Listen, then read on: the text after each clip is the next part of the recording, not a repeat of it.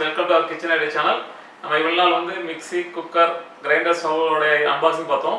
இன்னைக்கு வந்து ஒரு ஸ்டெயின்லெஸ் ஸ்டீல் ஸ்டோரேஜ் பாக்ஸோட அன்பாக்சிங் பார்ப்போம். அது பிரைலடியோட மேனுஃபேக்சர் பிரைலடி மேனுஃபேக்சர் பிரைலடி கம்பெனி அதை பார்ப்போம் இப்போ.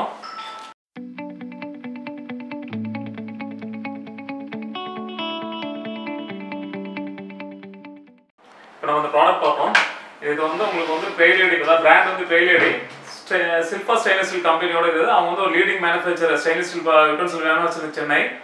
நிறைய எக்ஸ்போர்ட் பண்ணுறாங்க இது ஃபர்ஸ்ட் ஃபர்ஸ்ட் இப்போ இந்த ஸ்டோரேஜ் நம்ம அவங்க இன்ட்ரடியூஸ் பண்ணியிருக்காங்க. நம்ம சென்னை மார்க்கெட்டுக்காக எப்படின்னு பார்த்து பார்ப்போம்.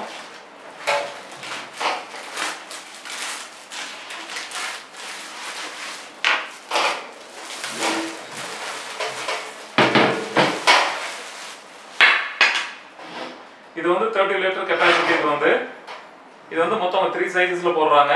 Thirty litres forty litres fifty litres இது வந்து. இது பார்த்தீங்கன்னா உங்களுக்கு நல்ல ஸ்டெயின்லெஸ் ஸ்டீல் நீங்கள் பாருங்க பார்த்தாலே தெரியும். நல்ல ஷைனிங் எவ்வளோ இருக்கு பாருங்க. நல்ல ஸ்பீ நல்ல குவாலிட்டி ப்ரீமியம் ஸ்டெயின்லெஸ் ஸ்டீலில் போட்டிருக்காங்க. இதை ஓப்பன் பண்ணி பார்ப்போம். இதில் வந்து நாலு லாக் கொடுத்துருக்காங்க.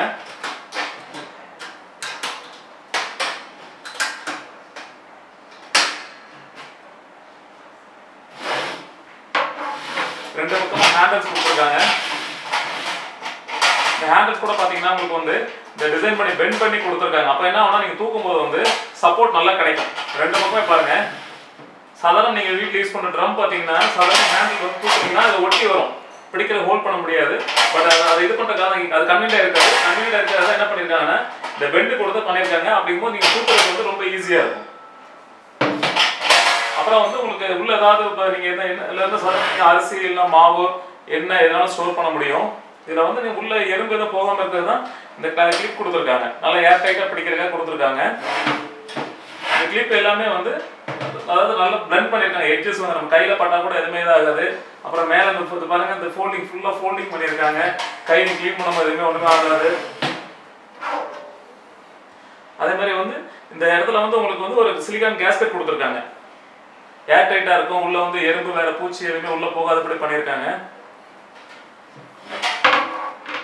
அதாவது அதுல கீழே பாத்தீங்கன்னா ஃபிளாட்டா இல்லாம ஒரு பேஸ் கொடுத்துருக்காங்க. இதனால என்ன ஆகுனா உங்களுக்கு வந்து நீங்க வந்து கீழே உள்ள கீழே வந்து பாட்டம் வந்து எதுவுமே என்ன வெயிட் வச்சாலும் கீழே டேமேஜ் ஆகாது. இந்த சப்போர்ட் வந்து எக்ஸ்ட்ரா சப்போர்ட் இருக்கும் இதுல வந்து. ப்ளீஸ் ப்ளஸ் வந்து உங்களுக்கு என்ன பண்ணுறாங்க லுக்குக்காக என்ன பண்ணிருக்காங்கன்னா சில்வர் டச் பண்ணியிருக்காங்க பாருங்க இது மேட் ஃபினிஷ் கொடுத்து மேலே கீழே வந்து மிரர் ஃபினிஷ் கொடுத்துருக்காங்க. பார்க்குறக்கே உங்களுக்கு நல்ல லுக் இருக்கும்.